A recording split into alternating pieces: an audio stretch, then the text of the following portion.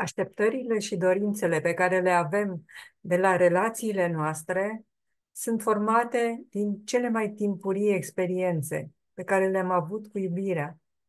amintește când și cine ți-a spus prima dată cum ar trebui să arate iubirea și cum ar trebui să o simți.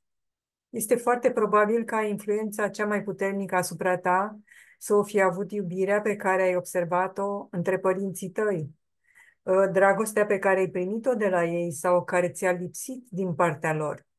Sau poate că este vorba despre primele filme de dragoste pe care le-ai urmărit. Sau este posibil ca prima ta relație serioasă să te fi marcat într-un fel, dintr-un anumit punct de vedere emoțional și să crezi că aceea este de fapt iubirea adevărată. În goana noastră, după iubire, încercăm în mod inconștient să repetăm sau să reparăm experiențele din trecut. Imităm sau respingem.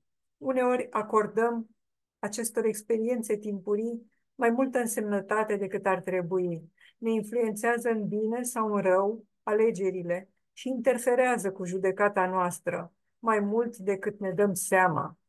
Tu cum ți-ai format o părere despre iubire și de unde ai învățat cum este bine să iubești și să fii iubit. Scriem și mie.